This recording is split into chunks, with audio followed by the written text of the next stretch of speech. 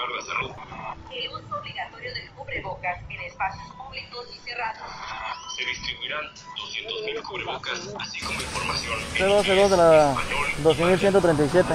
Se procede a repartir cubrebocas, comando, aquí en la avenida Tulum con Osiris. Buenas tardes, chavos. Hola, buenas tardes. Soy el oficial Alejandro Soy Ávila, pertenezco a la policía de Quintana Roo. Eh, estamos repartiendo cubrebocas, amigo. Eh, ¿Su cubreboca, perdón? Ah, no lo tengo, se me olvidó.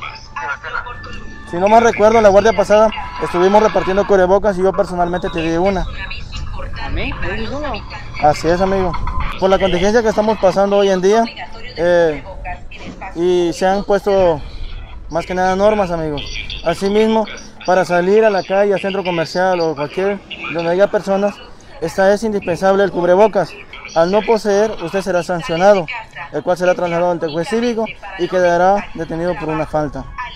Entonces, ¿me vas a detener por no traer un cubrebocas puesto? De hecho, nosotros estamos regalando cubrebocas, amigo. No, yo para qué quiero, así soy yo. Te lo vuelvo a repetir, es indispensable para que tú salgas a las Pero calles. es que pues si no quiero, es por no tu a- seguridad y por la seguridad de las otras personas. Pero es que si no quiero, no vas a dejar que me lo Vuelvo a ponga. repetir, si tú no quieres, serás detenido y puesto a disposición ante el juez cívico, pero pues el no cual quiero. determinará tu sanción si quedas o no detenido el juez Pero no, no, no quiero cubrebocas.